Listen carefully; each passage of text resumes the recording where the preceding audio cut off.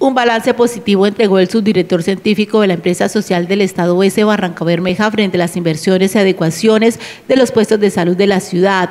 El Centro de Salud Danubio es uno de ellos donde sus obras avanzan sin contratiempos. Se siguen haciendo los procesos de terminación en todo lo que es de infraestructura, algunas cosas que, que habían quedado de obra blanca y los pendientes que tenía que era lo de luz, agua y aire acondicionado ya están terminando esos procesos para terminar toda la obra. El proyecto SB eh, ya se había llevado, se llevó pues al ministerio por los cambios de norma, se están haciendo unas adecuaciones y estamos en esa fase. Igualmente en el área rural como La Fortuna y Llanito se han venido adelantando los trabajos a sus centros de salud para prestar el mejor servicio a la comunidad.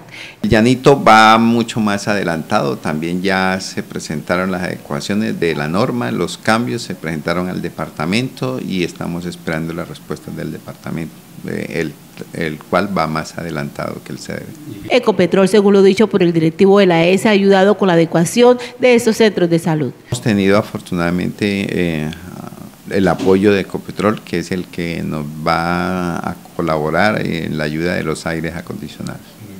Eh, feliz de agradecer pues de todas maneras en estas situaciones mmm, las ayudas de Ecopetrol para con la S porque son el mejoramiento pues, de las instalaciones para un mejor estar en este tipo de pacientes, pues ustedes saben que cuando uno es paciente uno quiere llegar a un buen sitio, por lo menos eso disminuye la enfermedad. Se espera para el 2020 tener un avance significativo, así como la totalidad de las adecuaciones de los centros de salud del puerto petrolero.